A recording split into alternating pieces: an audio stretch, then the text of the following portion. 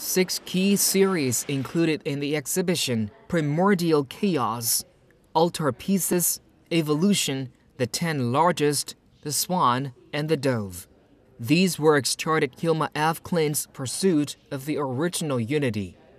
Affected by the dramatic development of science and a big mix of religions, af Klint abandoned the conventions she learned at the Royal Academy of Fine Arts from the late 1880s she started to paint the invisible world hidden within the nature. She used lots of contrast elements in her works, but by using the geometry symmetry, the conflict tended to be the harmony she's looking for. She also talked about her work as a temple. We don't quite know what she meant with a temple. Uh, I mean, uh, uh, there are 193 paintings that were the most important to her, and they constituted the temple.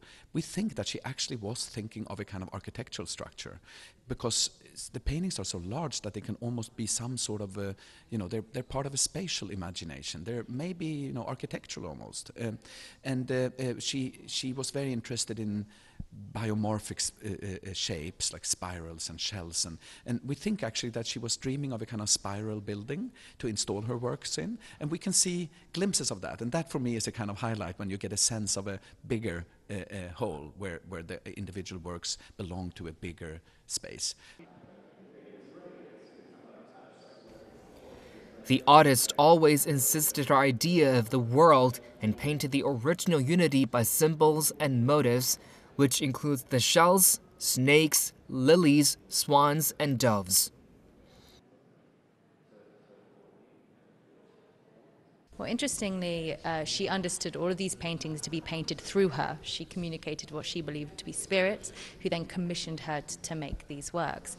And, you know, while she is, in a sense, making abstract works prior to, you know, Malevich and Kandinsky, she didn't really understand herself to be an abstract artist, but more that there was no real hierarchy between abstraction and figuration, and how a swan could be both represented as a swan, but also represent, represented through geometric symbology.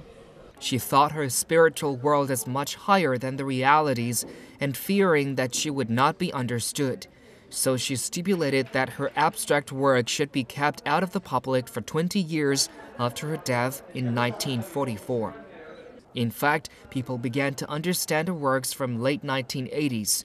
Until now, Af Klint has gained great popularity from young artists. The exhibition lasts until May 15, 2016.